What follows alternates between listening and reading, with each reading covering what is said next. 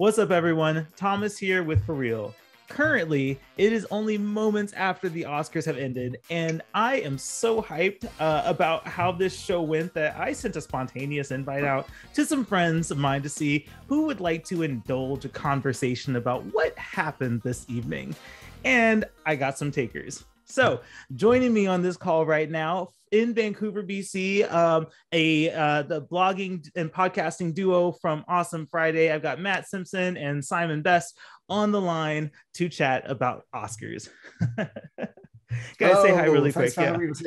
Hello, hello. It's a pleasure to be back, as always. Yeah, for sure. And also joining us, uh, the newest writer on the ForReel team, I've got Todd on the line as well. Todd, thank you for joining us. Yeah, of course. Absolutely. Happy to be here.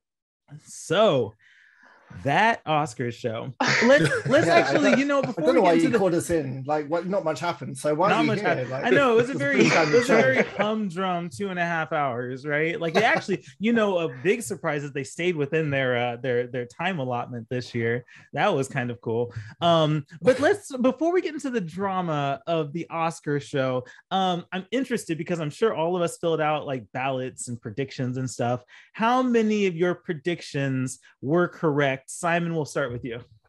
Oh, uh, I'm the, t- the worst person to start with because I have two children, so I don't see any.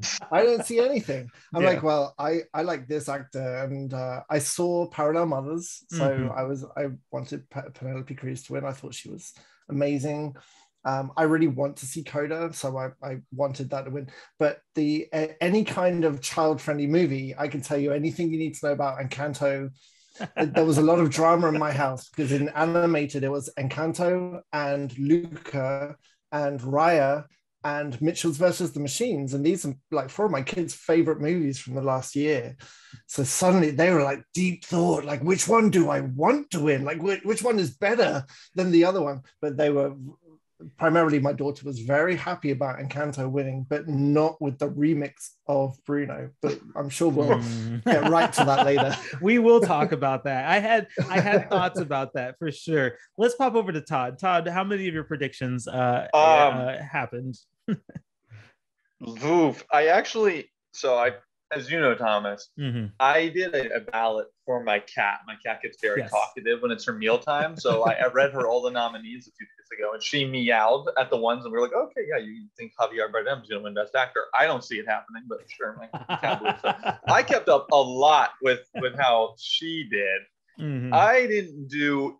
Uh, I did probably about as well as her on the 23. She got seven, so Mhm. not great, but good for a cat. I got like. Uh, I didn't switch over to Coda. I kept with Power of the Dog for Best Picture because I just Mhm. couldn't bring myself to bring the go over to Coda. But I got the the screenplays right. I got the actors right. Um, yeah, I got I got most of the big ones. I wanted Flea to win somewhere, which is probably my biggest prediction that Man, just don't didn't happen. even in, get me started category. I I will rant about that at some point in this little conversation, but I'll let you continue. I, I no, I think I did I did pretty well. Um, yeah, So, happy to see the Queen of Basketball one. Todd, are you, are you telling me your cat predicted that a movie called The Power of the Dog would win anything? Uh, she predicted. I think she had. I actually I have her ballot pulled Wow. up. Like her ballot's Wow. ready. She definitely predicted it. in She's a very open-minded cat. That's She's a very, open-minded. Cat. That is And she- true. yeah, best cinematography. Uh, she was a big. She she thought Dune was gonna win Best Picture. She was a Oh, big wow. Dune head.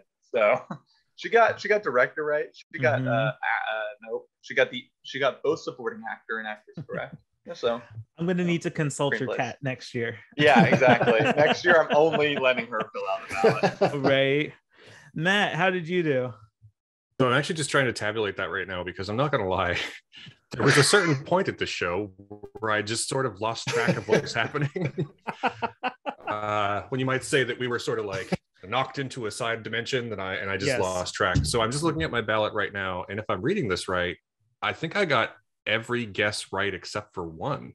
Whoa. Wow. You. Wow. So I filled out my ballot originally on February 13th when the nominations were Mhm. um, put out, Yeah. and then I filled it out again the day before yesterday. So I'm looking at the ones from the day before yesterday. You and did so I think you the did only one. You did send me the ballot. So it is recorded. He didn't write these down as they were happening. So I do have record. Yeah. And, but if I'm reading this right, the only one I got wrong was that the eyes of Tammy Faye took the best makeup and hairstyling, and I was sure that Cruella would take it.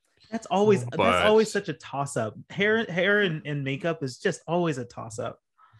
But otherwise, my my guesses from Friday for best picture, director, actor, actress, best supporting actor, supporting actress, original and adapted screenplay. Oh no, I got a, I got an adapted screenplay Sure. wrong too. I thought it would go to the Lost Daughter Ah, for sure. I thought it would go to the Lost Daughter. fun. Uh, but best animated and international, I got right. Best documentary, I got right. I didn't guess short films, um, and all the ones that Dune won, I got right. So yeah, yeah, I got because Dune just like mopped the floor with the technical awards. Like Mm. they just won everything. uh yeah. yeah. It's almost like it's one of the best pictures of the year. Uh, but, but uh, is it though? But is it? I don't like that was my biggest. So actually, am I wrong in in calculating that Dune is the winningest movie of the night? Like they won the most oh awards no, tonight. By It was mile, the yeah. winningest by double. It Yeah, won six, because- and I think Coda was the next Yeah. one. Yeah, co- that's true. Wow, I did not think Dune was that good.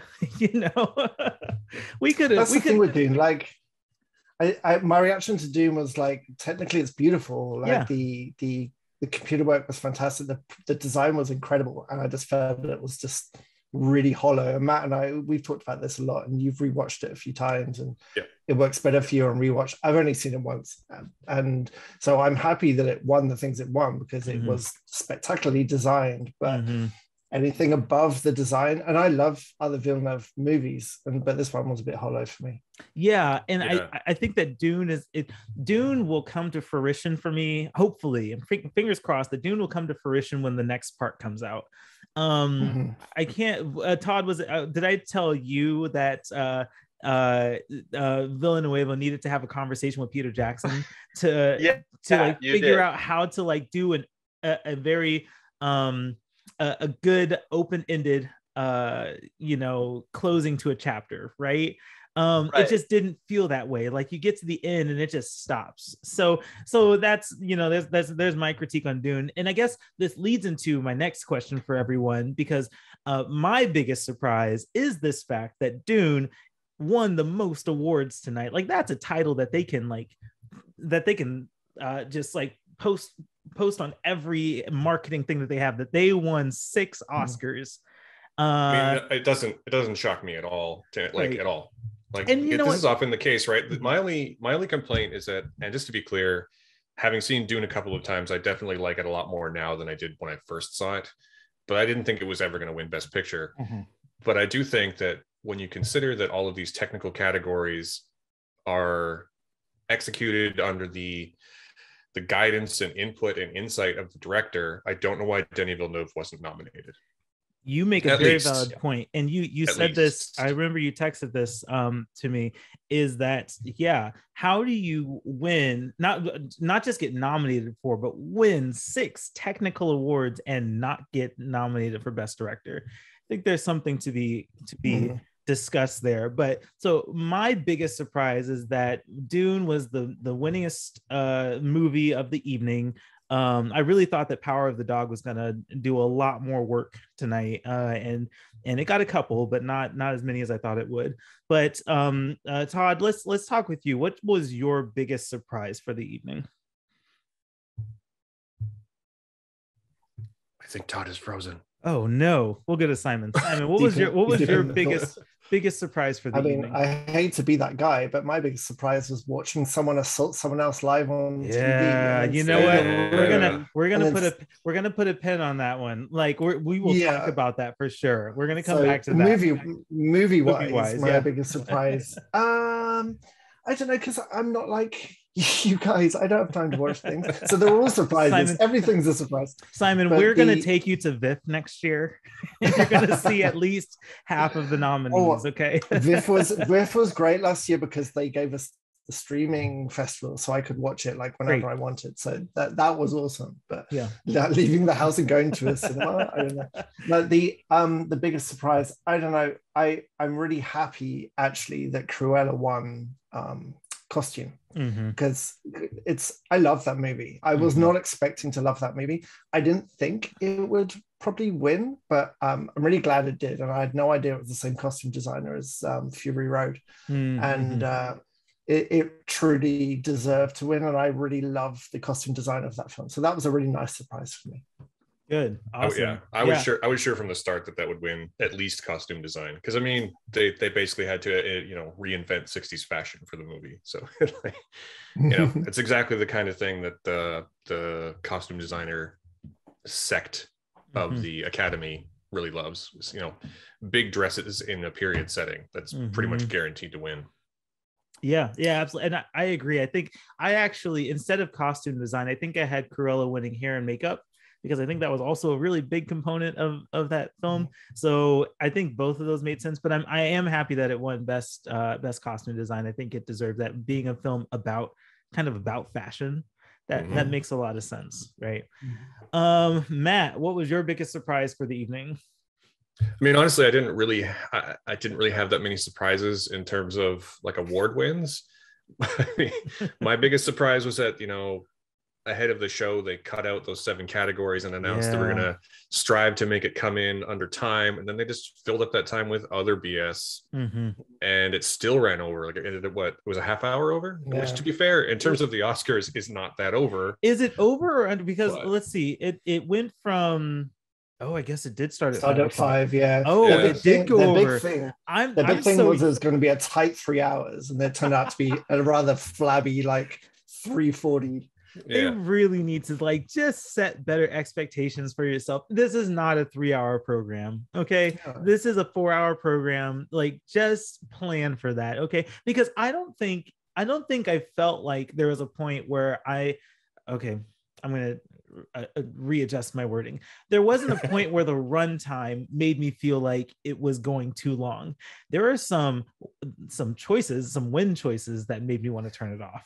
Um, but it's but as far as the runtime, I was fine with it. Like it could have gone into uh because it started at 5 p.m. Pacific time, which is where we are. Um, it could have gone to nine, and I would have been fine with that. I think that the hosts that they got were um were really good hosts. I mean, it's nice getting comedians. I think Regina Hall was a little too thirsty. in this one. Just, uh, just, honestly, I know I'm, I'm in the I'm in the minority, but like I was I sort of like that bit. I know I'm like the only one, but I kind of I'm just happy there wasn't another segment about it because she did the opening and then there is her own segment about uh the the um the COVID tests. Like I I, I think I think they could tell it wasn't really playing. Right. my whole thing went yeah. with any kind of skit like that. Is like, what if this were reversed? That and that is exactly was... where I was going with that. You are so right yeah. because I said to my husband yeah. as this was happening when she was like frisking um uh yes. Jeff Bridges. Um, if it no, was no, Josh Brolin, um, Josh Brolin, Josh sorry, Brolin. Josh Brolin. If it was roles reverse, yeah if it was roles reversed and it was a you know a guy frisking a girl yeah, um talking about how you know, just like uh, making all these these you know allusions to like sexual appeal like that would have been mm. so inappropriate yeah right yep. and 100% and it would Where yeah, is the consistency with that right i i mm.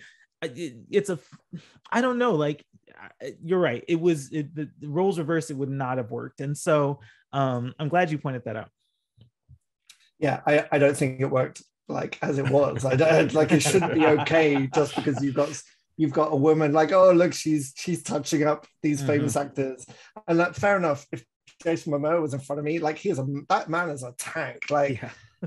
the the the, uh, he, the people around him were tall people. He is huge, so yeah it's all funny. It's all funny when it's a woman touching up a guy, but like it was mm-hmm. just very uncomfortable, very uncomfortable for me. The whole thing. Yeah, I, w- I was uncomfortable with it as well, specifically for that reason because we're in this this very um this very aware moment of time where we're trying to respect mm. people's uh you know space and privacy and and sexual harassment um and i don't like i don't know if that was pre-rehearsed or if he agreed to that but just from the surface value of it, it definitely just looked like, oh, this is a very weird improvised kind of thing that he is not a part of right now.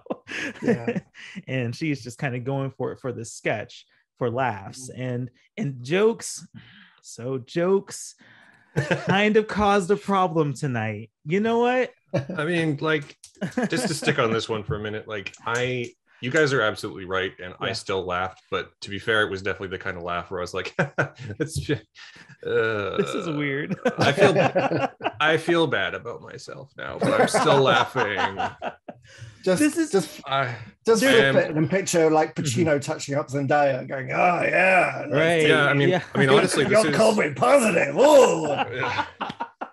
And honestly, it's it's funny because I was talking to my wife like just yesterday, or maybe it was even this morning. We were talking about Licorice Pizza, which, to be Mhm. fair, is a film, one of the only films I haven't seen, Mhm. and about how like I understand there's like a 15 year old boy and a 25 year old girl, and imagine if those roles were reversed, Mhm. how inappropriate it would be. And so, yeah, I don't know. I'm just an old man from the country. I maybe I'm just a terrible person. I don't. It's just, but I yeah, yeah, I definitely laughed, and then afterward, I was like, oh, maybe I shouldn't have laughed. Yeah, it's, it- which it's, which it's is bad interesting. I mean, this is this is the conversation that we should be having about these kind of things, right? Like I think more people should be having these kind of conversations. Like what happens, how do how should we feel um, about this compared to the roles reversed where we feel so differently about it? You know, I love Regina Hall. We just got I just got out of Sundance a couple months ago where she had two films, which was really funny. I, I tweeted because she dressed up like uh, Tammy Faye, um, which is entirely ironic because she did um, Honk for Jesus Save Your Soul, which is another uh, movie where where she ends up playing a, a, a, the wife of a disgraced pastor. Um, so kind of that same that same role, and then uh, so the the parallels between those two characters is is kind of interesting to see. But most people probably didn't get that because that movie hasn't been released yet. Um, so I love Regina Hall. She was in two films at Sundance. Um, you know, I think that you know, her the, the the thirst jokes were, you know, they were funny, you know, and and I liked them, but that particular moment was just really difficult to like how do i how am i supposed to feel about this in context uh, of the conversation that we're having todd welcome back can you hear us Yeah, I can hear you. Can you hear me? yeah yeah we're good um Cool. we're talking We'll just- about Go Yeah, forward no. like nothing happened, just like Of the course. Oscars. perfectly fine. No, we're we're in the middle of a conversation about the uh the Regina Hall ske- uh, sketch where she um where she frisked um give me the, Brolin, the Josh name. Brolin. Brolin, Brolin. Josh Uh, yeah. Brolin. Yeah, and we're talking about how uh, I mean, I think most of us were uncomfortable with the fact that the roles reversed. That would have been a very inappropriate kind of joke. Um, Yeah, it was So. it was a weird moment. yeah, yeah, yeah. it But felt for me sorry Mhm. it felt for me like it was one of many many many examples. Like it felt like the whole show tonight had been uh, organized in a way to try and get the young numbers. And like what, how can we appeal to the kids? Like yeah, let's let's cut some things out and let's do a funny version of bruno with oscar's lyrics and let's have Mhm. Like some sexual like risque jokes and it's just Mhm. it's just the whole thing just felt like But so also, we're so to touch that none of that is going to work. yeah yeah right. Mhm. definitely they were definitely steve buscemi in the t-shirt like it was Yeah. really You it was you really know uncomfortable let's talk about the ratings grabbing moments of the night. Um, this is going to be the headline everywhere all all day tomorrow when when people read about the Oscars, and that is the Will Smith moment. Um, Todd, you want to weigh in really quickly on how on on how, your experience with, the, with when that moment happened? Um, yeah, no, so I'll, I'll weigh in. Um, as y'all very keenly aware, uh, not the greatest tech setup at the moment. My computer is in the shop, so I'm using a smaller laptop, and I was airplaying the the the ceremony to my television. Mhm. And there are moments throughout the night where like you the audio would stay, but the image would freeze for a sec. And this was one of those moments where the audio just kind of cut out after Will Smith comes up on stage. And I was like, Oh Oh, no, no, that was the No, no, that no, was no. the program. They- the Oh, I program know. cut the audio out. Very- yeah. very quickly, I was like, I, you know, because I just had Twitter scrolling on my phone. It was very quickly, but, but the, all, everyone was like, yeah, that was not my computer. And it was shocking, to say the least, that I hadn't missed something, that I was witnessing everything as it was playing out in the Mm. moment, that Will Smith had actually gone up on stage and actually hit Chris Rock. Mm. And then, you know, had gone and sat back down, and you could clearly see him say, keep my wife's name out of your fucking mouth yeah, like, he did say very, that. very articulately. and he did not look like he was joking. And Mhm. obviously, we know now that he was not joking. Mhm. I was, I was, I was floored. it was interesting because I think after that moment happened, there were it was very everyone likes to. I'm sure everyone likes to put in their input and like weigh in on this really dramatic thing that happened. And there was a, I think there was some buzz about, oh, this was staged for ratings and stuff. And Mhm. and I don't know, maybe part of that is true. Um, maybe I- there. I no, was no, no, no, no, not no, no. No. Ultimate, ultimately, I, I know that I, I don't think it was staged for ratings. I think that maybe ratings may have been a part of it in some way or another. But the way that Chris reacted um, after that happened, like he couldn't get words straight. He kept mixing up words trying to get to the nomination. So that was not th- there was definitely not a a, a pre-planned pre-rehearsed thing and i wonder like how much like beef there was or how much like ha- th- th- there was a point where i said to my husband like it's it looks like will has been wanting to hit chris for a long time and this was just his opportunity anyway matt what was what was your reaction to how this this moment unfolded I mean, similar to Todd, I completely floored. Like that's the moment where I stopped paying attention to the rest of the show. Yeah. Like I was tweeting along quite happily, and now the rest of my feed for the rest of the night is just various retweets and comments on Will Smith because I had. How do you account for something like that? Like Hmm. that's not the craziest thing I've seen happen at the Oscars, but it's probably number two, right? Like Mhm. number two after the Best Picture mix-up. Like you must oh like yeah War, Warren Beatty and um uh fuck sure. you could just tell that the people who gave the best picture to the wrong people are like, yes, Mhm. it's not us anymore. Right. but but like I I don't know. I I found his speech to be really perplexing. I found the moment to be actually very understandable. Like Mhm. Chris Rock said something shitty about his wife. He got up and slapped him. Mhm. I understand that part of it. right I don't think it was appropriate, just to be clear. I don't think it's especially at that level of stage, you got to be able to like as a performer and as a person about to win a goddamn award, you got to be able to take take your lumps and be like, all right, that was a shitty joke. Have words at the after party. Mhm. Like you don't get up and slap him. I wonder if he's going through something. I don't know if he is. He I is found now. his- I mean, yeah, I found his speech to be really perplexing because it was in some ways very understandable and he was clearly very emotionally overwhelmed by the entire situation and i wish he'd just come out and been like i'm sorry from the mm-hmm. get-go and just made that his speech. Like i'm sorry to everyone and he did say it in the middle technically mm-hmm. but he was clearly fumbling. And i don't know man. Like i don't i i'm barely processing this myself. It doesn't make any sense to me. I feel like we're all processing it because I think that that speech it it blows my mind because he had time to think about like if I win because I know that I'm texting a, a few people who say what happens if Will Smith wins best mm. actor right like everyone's already Yeah. speculating about this you couldn't there's no way he didn't think about that possibility like if I win best actor what do I do about that? Right. Like I just did this very dramatic thing. And I and I agree. I think that his his speech was it's it's it was a it was a, a perplexing thing. He he didn't really have all the words to put together. How do you juxtapose this win with that action that he did? There's so much complexity and nuance to it. Simon, your turn. Let's let's hear what you think about it. but what, what, what I found it very interesting that in the commercial break between the incident and him collecting the award, there's a couple of pictures on Twitter of him in deep conversations with his publicist. And I think he's got a writer there going, right, we need to save your career now because this is your career about to finish. Uh, but but the thing that blows my mind is that he was there to even make a speech to begin with. Like he, what says more about toxic masculinity and and power and money that you can assault someone live on TV and still be in the room to sip your champagne to win your Mhm. golden award. Like, where was security? Where were the police? Like, someone made the decision not to call the police on this.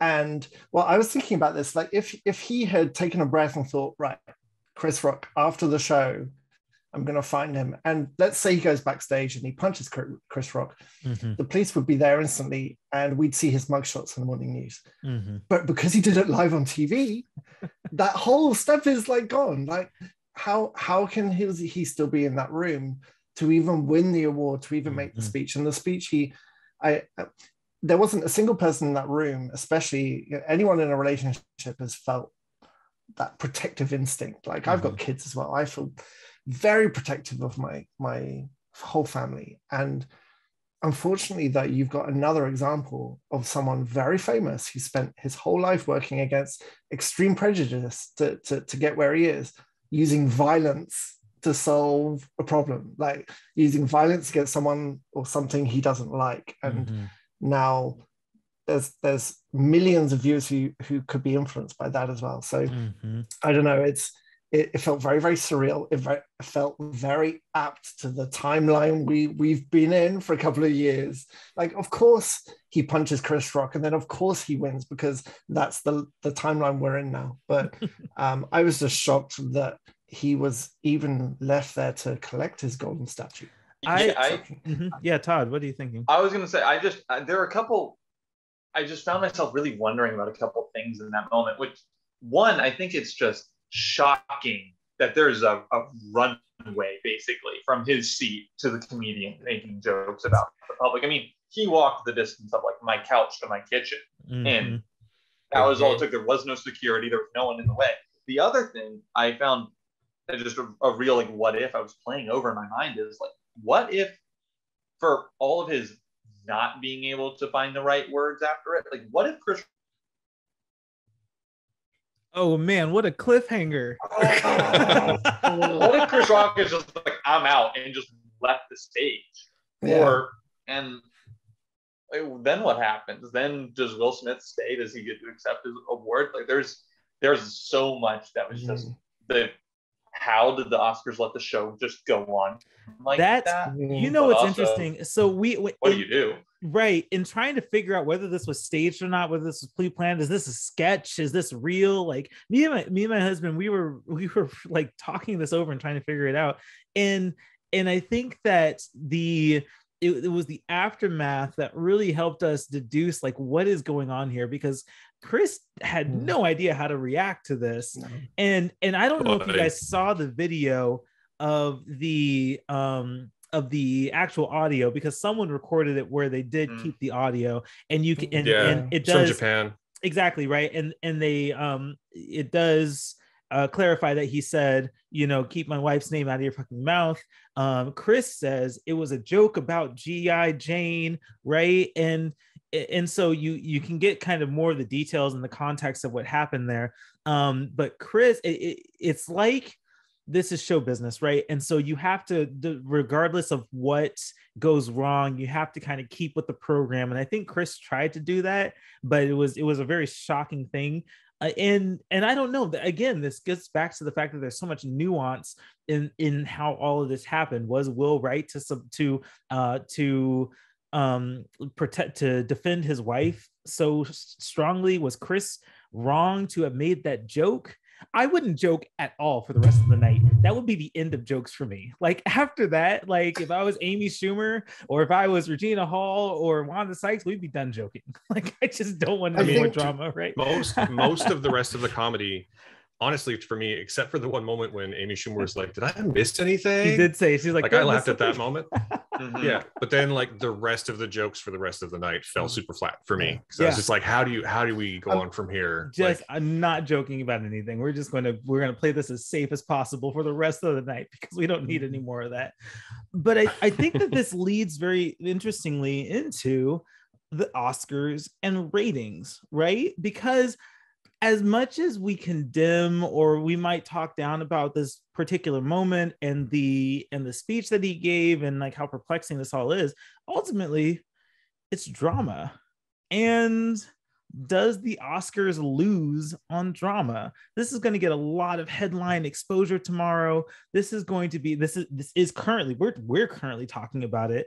Like how do we reconcile that like is this just something that the oscars tries to encourage for ratings like i don't know matt what, what do you think about Uh, like the fact that this is something that is interesting I mean, I I don't think this is the kind of thing that the Academy is going to want to encourage. No, like this Mhm. is as much as this is Will Smith putting at at best an indelible stain on his own career Mhm. and on what should be and like an acme moment in his career it's also a black mark on the oscars too right like this Mm. isn't this isn't the golden globes they're not sitting at tables drinking themselves under the table right like Golden Globes.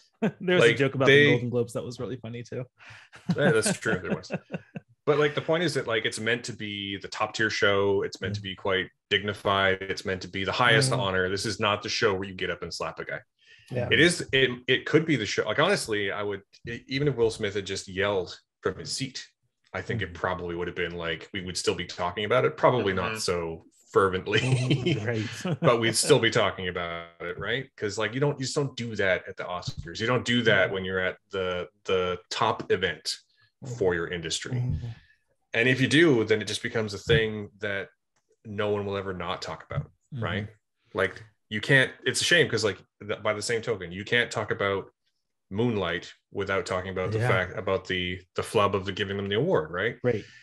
This is not a thing that the Oscars want as much as they want ratings. This is not the ratings that they want. They are not an organization that believes that all press is good press. Yeah. S- Sign, I would uh, say- Todd, yeah, for sure. I was just going to say, I mean, go back to the early 70s and when Marlon Brando didn't accept his Oscar for The Godfather and invited like a Native American speaker. That was definitely the biggest moment in the Oscars for a really long time. And that was And we still talk they- we still talk about it. It's not one they wanted to replicate ever. Like hmm. the faux pas of the Oscar are like Jennifer Lawrence trips. And it's like, okay, well, that is like a good kind of like, well, fine, we'll let Jennifer Lawrence trip and that'll be Yeah. a big social media moment. I definitely don't think they want the Will Smith, who is like the childhood dad for like a whole generation of people, getting up on stage and, and confronting anyone in any sort of way.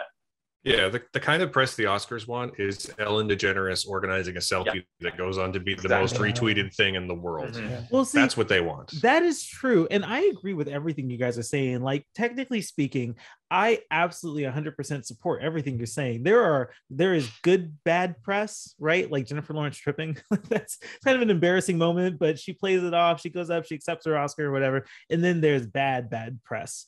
Um, but Mhm. ultimately, the past few years, the Oscars have not had a very winning streak with the public, right? And so what the public likes is drama and what this was was drama simon eh, do you concur Well- with matt and todd what, what do you think about here what about this Well, we've got to remember that this was high drama and it is what the public wants. But what the public wants more is the Flash entering the Speed Force. I mean, let's face it, that is the high point of the Oscars. There's no greater fan favorite moment than a, a, a- part that's so dynamic. I actually don't remember ever watching it. I actually I don't know that that moment exists It's in any movie. I was like, that's a absolutely. fake moment. They made that totally. That doesn't, that doesn't Totally. exist. Like, I've That's, that's only because end you of- went into the Speed Force and reversed the timeline and erased it from your memory. I, Matt, I love, I love you were you were in Endgame with a, a lot of people when it first came out. You described like the fury and like everyone cheering and shouting. yeah Um, I, I don't know if that happened during um, Justice League. Like, No, yeah, oh, Flash is into the, Um, finally- oh my god, finally! He's finally doing running into the light. thing He's doing the thing. that you know what if i'm if i'm a producer of the oscars and i see that for some reason audiences chose the flash moment over the avengers moment i just wouldn't air it like that just- Yeah, this is it's definitive I proof they don't they don't tamper with the votes. Right. Like it's, Um, it's That's sort of that's hard case proof they don't tamper. But with then I the have to votes. wonder That's who are they who are they polling here because there is no universe that Justice League or the DCEU has a better moment than 23 movies later the Avengers having this Avengers assemble moment. There's just it just does that's not a thing really unless Zack you're Snyder like fans, man. I mean, honestly, Snyder- this this Snyder fans on Twitter. There is not a day where I don't click on trending topics on Twitter, and Yeah. and Zack Snyder's Justice League is not trending. Not a day, not an hour. Like they are organized. yeah They are terrifying. Is that the biggest moment in the DCEU? Like No, there it's Zack not. It's not even- did that? it's not even the know, biggest the biggest moment moment in the for me. I don't like the DCEU. So that was But- but going going back to your original questions right Yeah. before I got Yeah, yeah. involved with Zack Snyder again. Yes. Um, the the the uh, the Oscars, I think, like you're right. All all press is good press, but this is terrible for the Oscars because Mhm. this is the closest to royalty America's got. Well, I mean, they had royalty, but they got rid of it. Mhm. but um, now, like this is the closest to the the prestige old time Hollywood like moment. And you're right, the Oscars can't have one of their superstars on the front row, right next to Keith Urban, like running up to someone and punching someone in the face. Well, this this actually incites a very interesting question: Is should Will Smith be stripped of his best oct- uh, best actor award? What do you guys think? I I- I, I don't, don't know, that I'm qualified to answer that question. I'm gonna say so. I'm gonna say no. Right. I'm gonna say it was a very um, it was that whole situation was poor taste. Right. But I don't think like I think that there is cancel culture right? We are in a world of cancel culture where where when one thing goes wrong we have to strip everyone or we have to strip that person of every good thing they've done right? Look will smith put on a good performance in uh in um uh in that film king richard and and him winning it i think is you know they obviously voted before that whole situation happened so there's a lot of people who thought he deserved that award right and so i, I i'm wonder I, I there's a part of me that thinks that this question is going to come up over the next day or two where should will smith be stripped of his award because of this behavior that he exhibited? And i think i Mhm. would be willing to separate the person and the behavior from the artist enough to say you know that was distasteful. It wasn't it, it wasn't a good decision. Um but you know he he earned that award right like are you guys on that Yeah. same page or do you think what, what yeah, I. I I agree. I agree. I don't think he should have been there to collect it. I, should, I think there was a, a great moment for Will Smith can't be with us tonight because he's now with the police. with the police Um, but I, I, I think, I think that what what will naturally happen is that he'll get fewer chances to to uh, even be nominated for an Oscar. I Mhm. Mhm. I would hope Yeah. that this has some kind of fallout that affects his career, but I don't like. I- Mhm. he he- he should have won the thing for the thing he'd already done. He shouldn't have been Right. there to collect it. Though. I think I Yeah. think that it comes to for me, it will come down to how the next couple of weeks shake out. Like Mhm. His speech was very rambling. I understand that he was very emotionally overwhelmed and he didn't really have the words, but how he reacts to this when he's asked about it every day for the next several weeks is really going to be telling for me. Mm, and even like because and and every how he reacts to it in a year from now and how he reacts to it in 10 years from now is going to be telling. I think he was deserving of the award. I agree with Simon. I don't think he should have been there to collect it. I think he should have at least been backstage with security, Right. like at least. Um, It- it- or that- that- honestly, it'd be even better. It should have been backstage with Chris Rock making amends. You Yeah. guys make a very valid point because I know my husband. We we are obviously just like reeling over this particular moment, and I swear it was probably like five or ten minutes later. There's a joke that's made, and the camera pans to Will Smith, just like laughing as if nothing had happened. Uh, right and i'm sure this is where a lot of the conspiracy theories come where like oh it must have been pre-planned oh that must have been like a part of the show or whatever right because he was he was just so like like nothing had happened it was a very weird moment like the moment was Well, weird and then and then his and then just like going back to normal was kind of weird as well I, yeah, I sort of, I sort of understand. Sorry, I don't mean to cut you off. I sort go of. I sort of get that though. I sort of get like someone says something, you walk up to the guy, you smack him in the face, you think the crowd is with you, and then slowly between Yeah. that moment and the moment where you win, you slowly come to realize mm, that oh Yeah. shit, yeah yeah they're not with me. So when it the first time it cut back to him and he was like, yeah, what you know, Mhm. he I was like, yeah, he's still riding the adrenaline of that moment. And then by the time he got to the where he was winning the award, I was like, this is gonna be fucking awkward. Yeah. Yeah, I- yes yeah. I think- So I, I think the will what makes the debacle so much more bewildering is that I don't know how many voters voted for Will Smith thinking he actually gave the best performance of the five nominees. Mhm. I think in a lot of ways this was Will Smith has never gotten an Oscar. Mhm. Will Smith has been beloved since the early 90s. And like it's gonna be awesome to watch Will Smith giving his Oscar speech. And And he's and he's been kind of a trying. lifetime of He's been trying to win an Oscar been- for several Yeah, years. yeah, now. he's been trying to win Yep. for a long time. This press cycle was vicious. I mean, with the Jada and the Mhm. Tangled marriage, and then his book coming out. I mean, he did the circuit hard. It was not just for King Richard, which he is very good in, but Mhm. it was it was hey, we're gonna give Will Smith his Mhm. moment. He's going to give an awesome speech. We're gonna have a lot of fun. It's gonna be awesome to see Will Smith finally accept the award that he's been trying to get for so many years, and now you know, Mhm. Yeah. And I mean, that's a pretty normal way for Oscars to go, too, right? Like, I, I don't think there's anyone who believes that Russell Crowe was better in Gladiator than he was in The Insider. I don't right? know if there's anyone think- that believes that Jessica Chastain should have won for for Eyes of Tammy Faye. Like, Oh, so I get I get that one too because these awards often go to most acting and not best acting.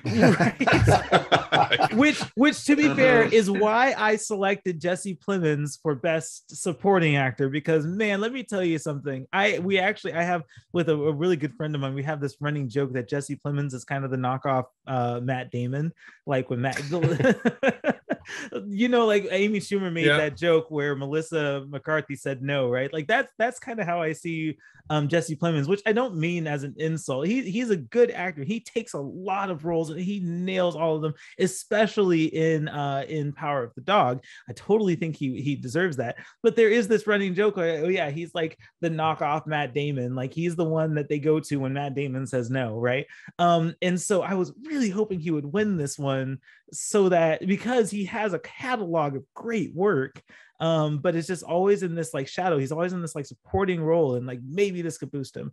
But um uh, but so i guess on the topic of like disappointments at the oscars um there's a lot of them uh my biggest disappointment i'll just go ahead and put it out there right now i'm sure anyone who knows me already knows what my what my biggest disappointment is right now uh but my biggest disappointment is that flee was entirely ugh, entirely ignored um, for any wins. Um, they were nominated. Uh, Flee was nominated for three Oscars, lost all three of the Oscars. Uh, to uh, one of the losses was a very unfortunate one to a Disney project, and we and Disney doesn't need an Oscar. Um, I don't think, uh, not more than Flee. But my biggest disappointment is that Flee was ultimately entirely overlooked and and that is an, that's just such a crime to me such a shame because that movie was phenomenal does anyone else have any massive disappointments that they Yes. need to get off their chest Yeah, I do. I need to get in there and just say uh, Spielberg is the greatest living film director, and and I West Side Story. I'm a theatre kid, and West Side Story is one of my favorite musicals, and Mhm. and his version is better than the original. Like I, uh, I, I watched that film with my daughter, and just I've I've done a lot of filmmaking, a lot of I've studied a lot of filmmaking, and just like open mouthed at the framing and the editing and the pacing and just everything. I love clearly Spielberg movies anyway, but this was this was the moment he I think he really deserved to get that Oscar to make the Mhm. thing he'd been dreaming about making for years and gets anyway. And uh, Matt's like, no, Jane Campion was like day one. Like I've seen some of Power of a Dog. I didn't make it all the way through. Uh, I will, I will get, I, I will watch it in installments. I'm sure at some point. Um, I think I mean, Wanda, to be, to be Wanda, fair, Spielberg- Wanda that- Sykes that- made a joke about that too. yeah, Yeah. I, I was totally, yeah, that's me. Like I've tried, I will, but like I was so disappointed that uh, Spielberg didn't win Best Director. Mhm. Yeah, Todd, any any big disappointments for you? Um, uh, my big, bigger disappointments definitely would have come with the nominations coming out. I was a Mhm. big, big fan of The Worst Person in the World and thought Mhm. uh, Renate Reinsve, the lead actress in it, gave the best performance of the year. I just think she had to do the most of uh, of any actor or or actress at the category that she would have had to do. And um, yeah, and so it, I think the the screenplay awards kind of got me down. Uh, I think Belfast and Coda were definitely the safest choices, and I don't think that Coda won or should have won Best Adapted Screenplay because I do think the writing is the worst part of that movie, and I love that movie. I Mm-hmm. just think adapting uh, Drive My Car, The Lost Daughter, uh, those other works were just way more difficult, and I thought that was one of the most interesting categories. And so when it went to Coda, which I kind of knew it was going to go to Coda, predicted it would go to Coda. right. I mean, I was pretty you make- upset. Also, Flee, love Flee. Ah, don't get me started. I am very disappointed Flee didn't get anything. Um, but uh, yeah, uh, Matt, what uh, what disappointments did you encounter at the the Oscars tonight? So I'm going to be a little contrarian and say that I didn't really have any. Okay, Um, because because your your your ballot was perfect. And it wasn't perfect, but it was pretty close. but the uh so there's I'll say a couple things. First off, I I would have been disappointed if a certain best picture nominee had won Mm, because it's a bad movie and it shouldn't have been in the category. yeah, Um and uh, I don't want to say its name out loud, but I will. It's Don't Look Up. That's a terrible I was movie. about to say, there's- yes, just- I think we're all on the same page. The other thing is that my favorite film of the year wasn't nominated for anything. So Wait, what was your favorite film of the year? uh Pig. Yeah, Yeah. Oh man, that's The another fact- big nomination snub. huge snub. And you know what? Maybe it wouldn't have won anything, but you could trade "Don't Look Up" for "Pig" as a best uh best picture nomination. You could trade. Um, hold I on, can't let me believe look at the. Bardem got a Bardem got a nomination over Cage. Yeah, yeah, you can Yeah, trade Bardem 100%. over Nicolas Cage for sure. Like, wh- who did Nicolas Cage piss off? I- uh, oh, I, well, I this think is- that's probably a long list, isn't it? I'm sure. That's probably true. so this is coming up to, to sort of more of my point though is that i don't like and to be fair i've been a fan of the oscars for a long time i've watched it every year since i was a mm-hmm. kid and at some point fairly recently and it might have been green book that finally made like cracked it for me because that, that was not a good serving win. Mm, but No.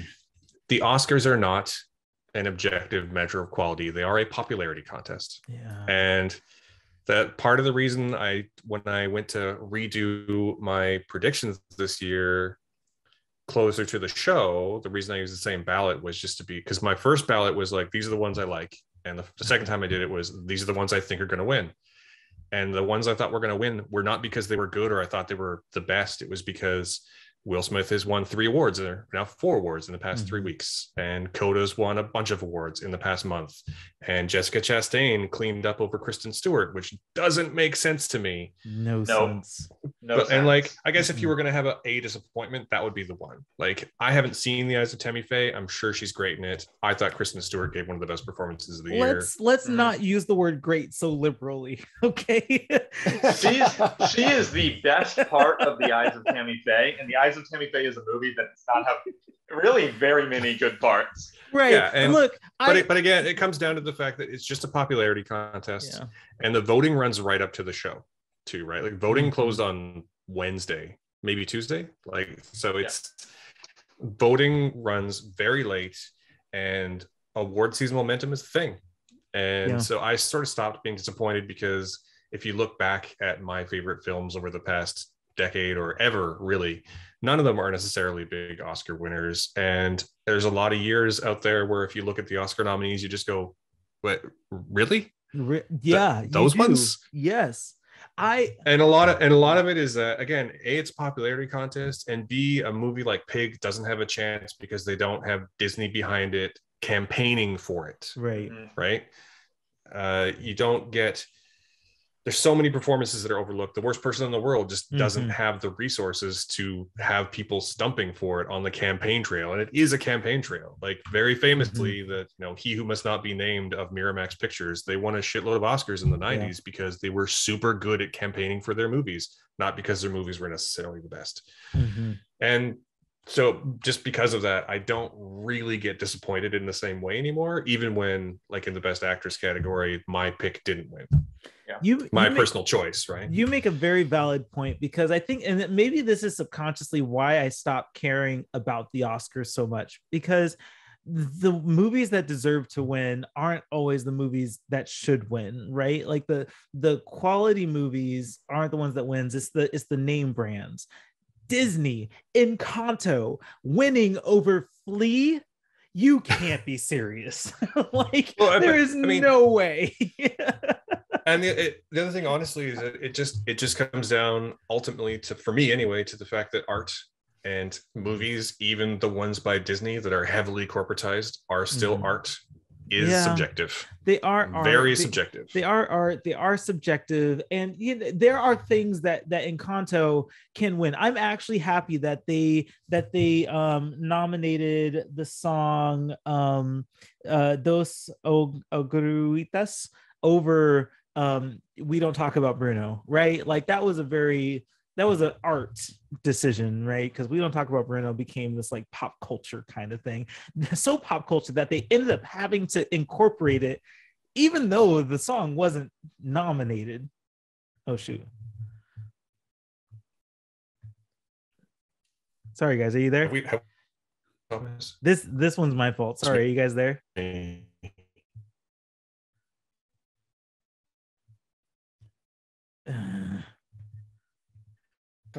That's go my- Kind from there. okay. Are we back? I mean, it's a really good freeze frame too.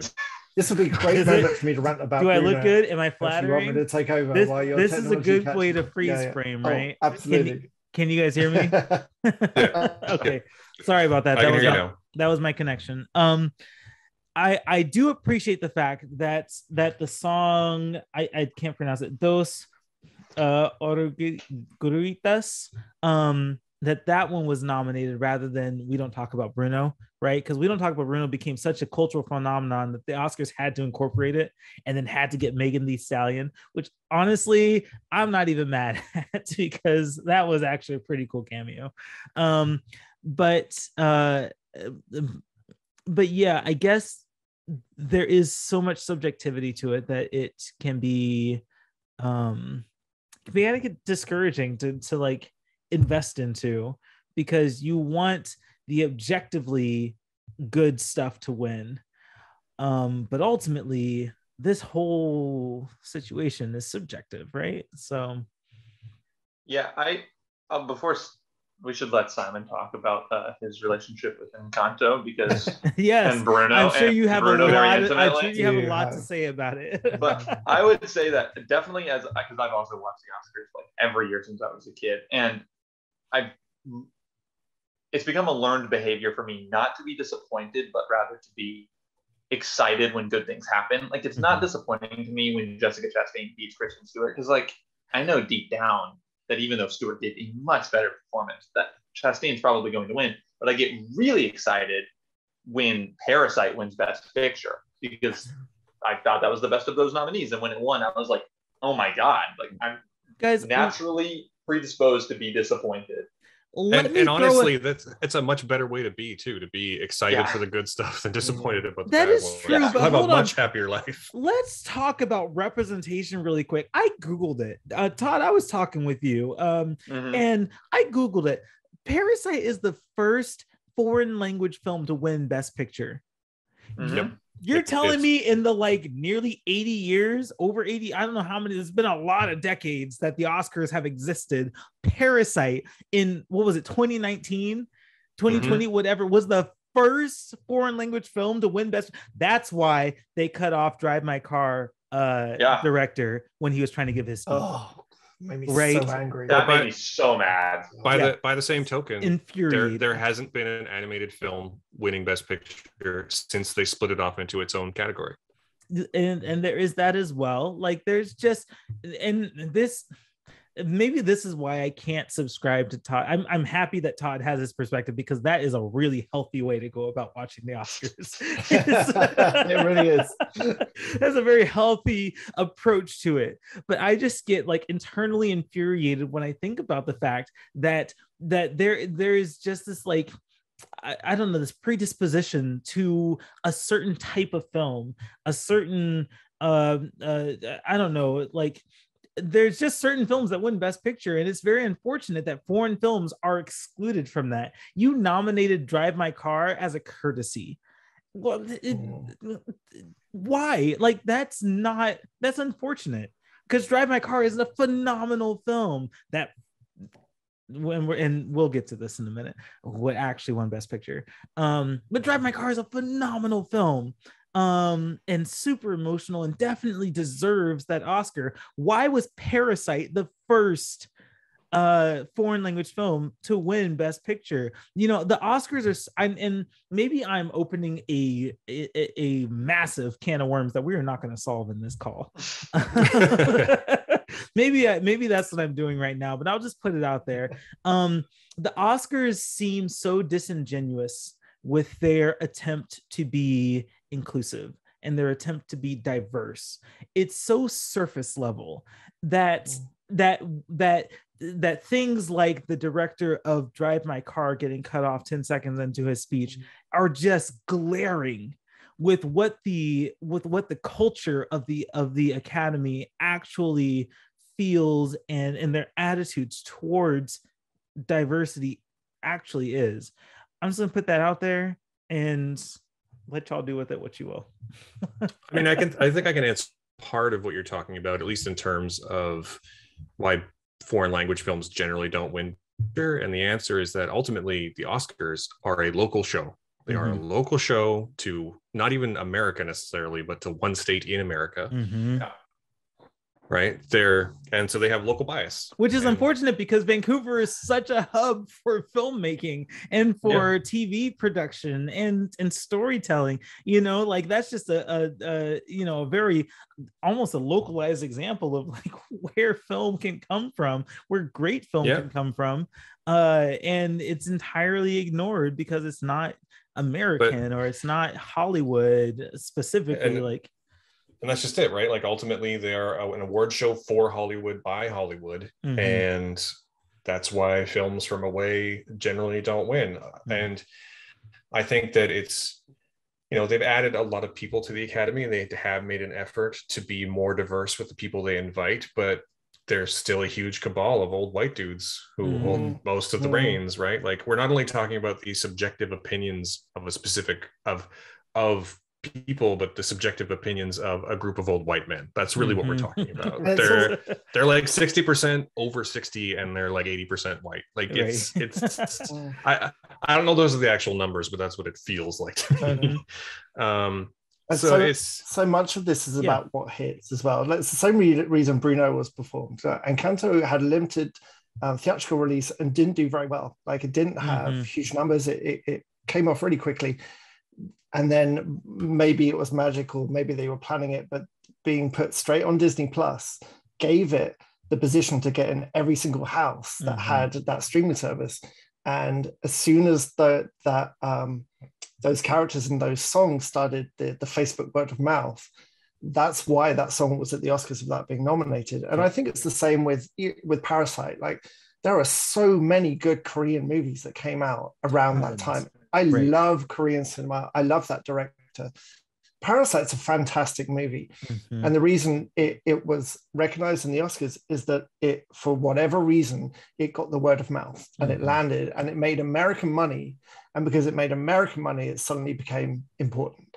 Yeah. And there's there's for every parasite, there's a hundred other foreign movies that Mhm. for whatever reason doesn't make American money or didn't like get the, the release at the right time with the right audience. yeah, it's a po- it's a popularity contest. Mhm. and the, Yeah. narr- the narrative is as important as the as the movie itself. Yeah, I- More more so. I think that's part of it. Well, part of it is when they nominate these foreign language films, like something like Parasite in that year or Drive My Car in this year. It's like that was so overwhelmingly the most popular or quote unquote best foreign language film of that year. We don't get to see like Mhm. the don't look up of, of foreign cinema. It's not like anything where we're just like, oh, that's actually like not a very good film that happened to be I made in just Korea don't that got understand nominated. why has Don't to- Look Up was a part of the Oscars. But it has Look, to be even if the you very enjoyed- best. Even if you Because the- enjoyed the that film, Academy- like The Academy loves Adam McKay. That's why. I know That's- popularity. it's- con- You're right. I know. They also Uh, like movies that make need- them feel really smart, which is I why need- Sorkin will never not be nominated. I need Yeah. to be more like Yeah. Todd. I just can't. Just give up. Just I give up early. Better for your blood pressure, definitely. I know it's so infuriating. Like all of the you, there's you're right. Like I don't know what it was about Parasite, and and I was just thinking like as you guys are talking, like maybe film festivals can have something to do with this. Maybe if it's shown at more film festivals, or if film festivals promoted it more, made it the opening film or or whatever, right? But I look at Flee and think that film did so many film festivals. Like it opened at Sundance and had kind of a quiet period. And then at the critical point between like October and December, it was at every film festival and still got no Oscar wins. I am so mad about this, guys. That's- A lot of you can't, you can't public- tell. You're really hiding it. I know, right? a lot of a lot of the viewing public have a real aversion to subtitles, like reading during a movie. They do. Like, That's true. just, I mean, just to be fair, read. To be fair, I did for a long time. There's a whole story about like how I ended up getting into foreign language film. Um, but but yeah, so yeah, it, it's it's a it's a thing. We we as America, I, know- I don't know about Canada, but like here in America, I can say for sure people don't like reading reading subtitles. Well, we we have two official languages, and nobody likes reading subtitles. Yeah, if Which- they release a movie in French, I'm like, absolutely not. Which, which honestly, honestly, it's a huge shame because I think a lot of our best films come out of Quebec. Like That's true. Quebec has a really vibrant film industry, and a lot of the best Canadian films I've seen in the last like five years, especially, have all been French language from Quebec. You know what's funny is I just watched uh um Turning Red. That's uh Oh. Toronto, right? yeah. They should. It's should done- very. Uh, if you've never been there, it's very Toronto. It's very accurately it? Toronto. I got well. Toronto out of that film out of Mm. ne- after never having been to Toronto. Like Yeah. it just Yeah. there's so much Totally. Canada and so much like Toronto. it's so all it- Canadian. All it needed Yeah. to do was be in French. And then it would have like just been the most authentic like Ontario film ever. Um yeah. Oh my gosh there's so much like i could i could do a whole i think we could do a whole podcast just on like foreign language films uh in the oscars. But you know what? Let's let's let's get close to wrapping it up right? There's one last thing that we need to talk about and um that is the fact that uh, a certain film won best picture which wasn't the film that I thought it was going to be before the Oscars starts, but started, but but like 40 minutes into the Oscars, I thought, oh, that's actually a very viable option. And as it turns out, Coda won Best Picture at the Oscars. Let's talk about how we feel about that. Uh, Matt, do, do you have any any thoughts or reactions to Coda winning Best Picture? So, so again, I think that all nine of the ten nominees for Best Picture were all good movies, Mhm. and I would not be disappointed if I love it. nine of those nine won. um, I think, and I I know there's going to be a lot of people being like, "Really, Coda? It's so." Because in a lot of ways, it does feel. Uh, someone described it to me that it felt like a Hallmark movie, Mhm. which I think is completely unfair. I think that Coda is a perfectly executed version of the movie that it is. Yeah, I agree. There are there are Totally. There are very few surprises, but when the big emotional moment hits in the third act, you're goddamn right I cried because it's a it's a perfectly executed version of that story. And Yeah. there's a lot to be said for that. Like I don't need a film to be super innovative or do something completely unexpected for me to think that it's really really good. A really well executed version of a movie is a really well executed version of a movie. It's right Mhm. there in the sentence. you know? right, Todd. I'm gonna so it uh, it was it wasn't my personal pick, but I'm not I'm I'm not surprised. I actually that's the one I predicted would win, Yeah. and because it had a lot again a lot of momentum in the last couple of weeks, and so yeah, it's fine. I'm fine with it. Todd, I'm gonna get to you in just a second. Simon, what were your thoughts? Have you seen Coda yet? Um, no, Okay. It's that of all the films I hadn't seen, that's the one I wish I had seen because Mhm. the I, it seems like a really interesting story to me, and I do love um, sign language is a really beautiful thing. It's just Mhm. my, my wife studied it for a while, and I, I've known a couple of people who've used it. I just wish I was one of these people who could use it if needed at any That would given be time. so I just think it's right? a wonderful like language. I, I teach language anyway, so I'm really into like how language works. And language in the hands is just like it's almost like music, isn't it? So I Mhm. would love to watch that. Um, so I, I'd seen Dune. I'd watched um, 15 minutes of Don't look up, so I turned it off, and then was really surprised to see it everywhere. Um, like he's got a good publicist. I I saw an hour of Nightmare Alley and went, oh, this is really slow, and I keep meaning to watch slow. the the end of. You Nightmare keep meaning Alley. to watch the last six hours. um, Power of the Dog.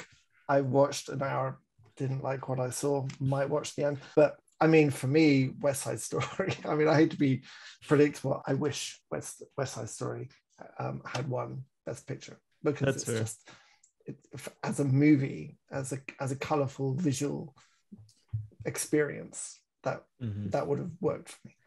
I can understand that. So just really quickly, my relationship with Coda, right? Oh, are you guys there? You guys look frozen. Shit. I lost connection and I'm back now. Unfortunately, the team from Awesome Friday had to jump off. Um, but uh, but we're gonna go ahead and wrap it up pretty quickly.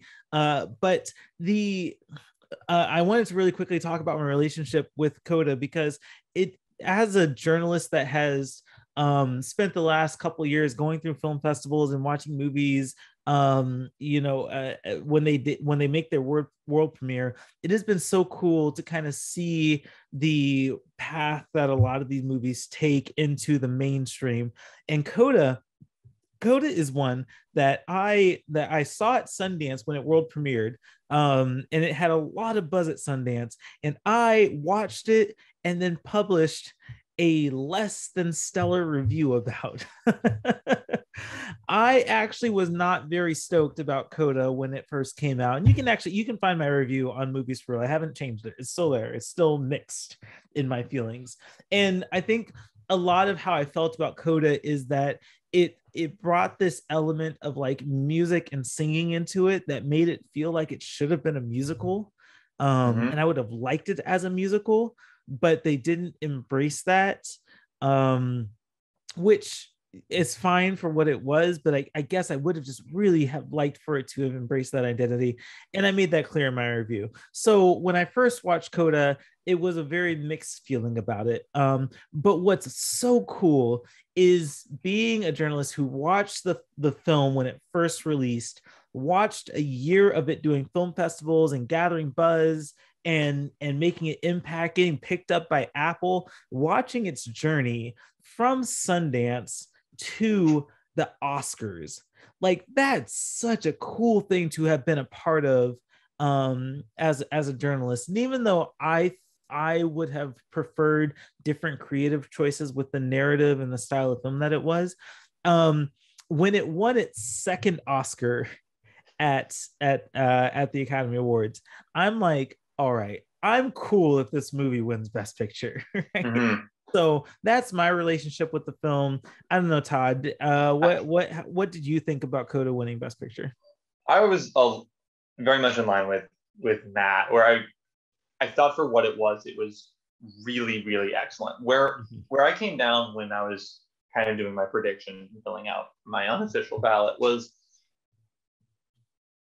the relationship that the Oscars have had with film has changed a lot. And I loved Coda. Mm-hmm. And I mm-hmm. don't think they're ever going to stop making films like mm-hmm. Coda. Coda is very much a feel good movie. It's very much yes. a Sundance movie. Like it's yes, it, soup, it has Sundance written all over it. And that's not just because it won at Sundance. They're never going to stop making those movies. I, I think I really wanted the Academy to recognize, you know, the reason I picked The Power of the Dog, which is not because it's my favorite, and not because I actually think it's the best. Like I do think I, I know we're agreed on this that Drive My Car was the best movie yes of those nominees. Mm-hmm. I would have liked Drive My Car winning, obviously, but I would have really liked Power of the Dog because I like what Netflix did. And Netflix has been doing this for years, and that they've just been giving a blank check to, in this case, Jane Campion. They gave one up onto Cuarón. Like, mm-hmm. I, I like the idea that they're just like, yeah, you make a movie, we're going to try to sell it and get a ton of awards. And that's just, if that's the future of cinema, then so be it. Mm-hmm. That's definitely better than Jane Campion, who would seem like really like given up on maybe making films again, mm-hmm. just not making films. Like, I, I hate that. I hate, I hate that we could live in a world where Jane Campion's like, uh, no studio wants to back exactly what I want to do. Right. So just I'm not going to do it. And Mhm. there's definitely a one for me, one for them situation that's always been going on in, in film, but seems to be getting more and more prevalent where it's like David Lowery can make the Green Knight, but first he has to make whatever that Disney CGI movie was that nobody saw. And it's just, I don't know, let, let Netflix give David Lowery a check and be like, hey, go make whatever you want. Right. And so I'm happy Coda won. I, I I loved Coda. I thought it was a great movie for exactly what it was. I, I do think it's been really interesting to see it uh, go from Sundance to the Academy Awards. Mhm. The fact that you know it was one of only three movies tonight to win more than one award. Yeah. How Dune- wild is that? Dune, Coda, and The Eyes of Tammy Faye are the only two that won more than one award, which is crazy. And the eyes of Tammy Faye shouldn't have won. I I don't think should have won one award. Like that's Yeah. wild. it's just it's really nuts. So like I, I like Coda. It's not the worst Best Picture nominee yes, or Best Picture true. winner rather of the last Mhm. five years even. Right. Um, the Green Book comparisons are way out of line. Everyone's way out of line on that. But but yeah, it, it probably shouldn't have been Coda. But it, Right.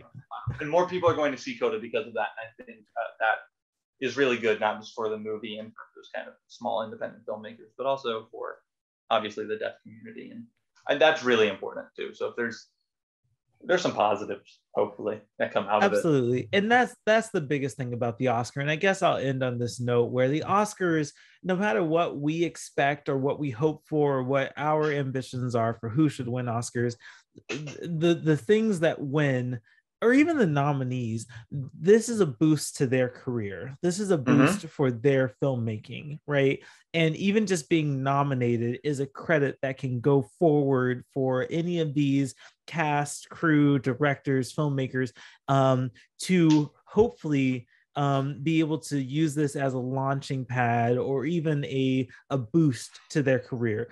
And I I hope that everything that got recognized tonight, everything that even everything that did, that didn't get recognized, flee. Um, um, I hope that these filmmakers continue going forward, making great film and using this Oscar night as a boost to their career. Um, it- so so that they can continue making great film.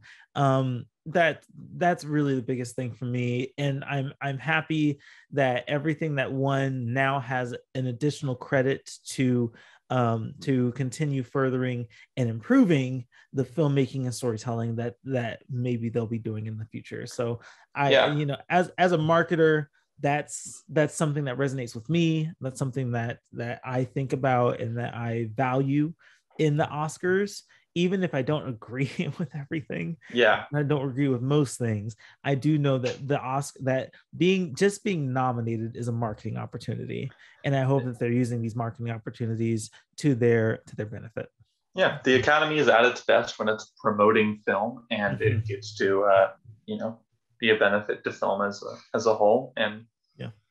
the Academy will be okay as long as they keep doing that. Exactly. Hopefully tonight only one career was really blemished. yes only only one only one. and maybe he can find a way to to remedy that. We'll we'll yeah, see when how he that. and when he and Chris Rock host together next year, the, the on the four categories they present live at the Oscars, then everything will be okay. Exactly, exactly. So we'll we will see how that goes. But Mhm. for now, we're gonna go ahead and wrap up this conversation. Um, unfortunately, my connection cut out, and so um, some friends of ours dropped off. But I do want to go ahead and plug really quickly uh, Matthew Simpson and uh, and Simon Best at Awesome Friday. Uh, awesome Friday, which you can find at awesomefriday.ca. Um, they have great articles there about the latest movies and film festivals and everything. So definitely check out uh, awesomefriday.ca uh, out of Vancouver.